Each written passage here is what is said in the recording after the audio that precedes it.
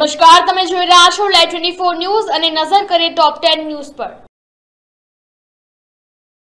છેલ્લા થોડા સમયથી ગુજરાતમાં પીએમઓના નામે ઓળખ બતાવી લોકો સાથે ઠગાઈ થવાના અનેક કિસ્સા સામે આવ્યા છે. ત્યારે વધુ એક નકલી પીએમઓ ઓફિસર સંકટમાં આવ્યો છે. વડોદરા ગામે પોલીસે નકલી પીએમઓ ઓફિસરની ધરપકડ કરી મયંક તિવારી પીએમઓના ડાયરેક્ટર તરીકે ઓળખાણ આપી ડમફાસ મારતો ઝડપાયો છે.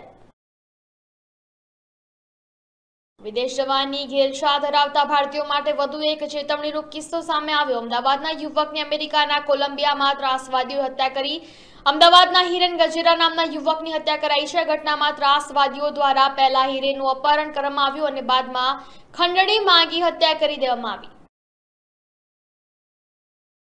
ખેડા જિલ્લામાં વહેલી સવારથી ધોધમાર વરસાદ વરસી રહ્યો છે, જેના કારણે નડિયાદ શહેર અને આસપાસના ગ્રામ્ય વિસ્તારોમાં વરસાદી પાણી ભરાઈ ગયા હતા. નડિયાદમાં વરસાદી પાણીથી ભરાયેલા ગરનાળામાં કોલેજની બસ ફસાઈ, વિદ્યાર્થીઓનું કરવું પડ્યું રેસ્ક્યુ.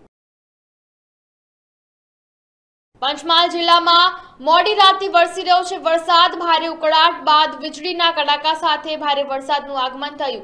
જાંબુઘોડા, ઘોગંબા, હાલોલ કાલોલ, ગોધરા અને શહેરા સાથે મોરો પંથકમાં વરસાદ વરસ્યો. સાબરકાંઠા જિલ્લામાં વહેલી સવારથી જ વાદળછાયું વાતાવરણ જોવા મળ્યું. સાબરકાંઠાના હિંમતનગરના ગ્રામ્ય વિસ્તારોમાં ધીમી ધારે વરસાદ વરસી રહ્યો છે. વરસાદને પગલે વાતાવરણમાં ઠંડક પ્રસરી આ ઉપરાંત સાબરકાંઠા જિલ્લાના ઈડર, વડાલી, ખેડબ્રહ્મા, વિજયનગરમાં વરસાદ પડ્યો. ઈડર તાલુકામાં વરસાદ પડતા ખેડૂતોએ વાવણી માટેની તૈયારીઓ શરૂ કરી દીધી.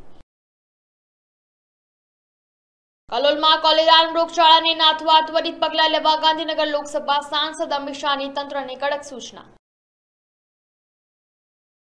સાબર ડેરીના ચેરમેન સામે લાગ્યો ભ્રષ્ટાચારનો આરોપ. પૂર્વ ધારાસભ્ય બેઠા ધરણા પર. રાજ્યમાં હવામાન વિભાગે ચોમાસાને લઈને આપ્યા સંકેત. અમદાવાદ સહિત ચૌદ જિલ્લામાં વરસાદની આગાહી. ગુજરાતમાં સત્યાવીસ કે અઠ્યાવીસના નૈઋત્યના ચોમાસાનો વિધિવત પ્રારંભ થઈ શકે છે. મહેસાણા એલસીબી શાખામાં ફરજ બજાવતા પીએસઆઈ એચઆર જોશીને ડીજીપી દ્વારા ઈ કોપ એવોર્ડ એનાયત કરાયો. વિપક્ષ કારણે બનાસકાંઠા જિલ્લામાં દાડમની ખેતીમાં લાખોનું નુકસાન. સરકાર સર્વે કરી ખેડૂતોને સહાય ચૂકવે તેવી માંગ.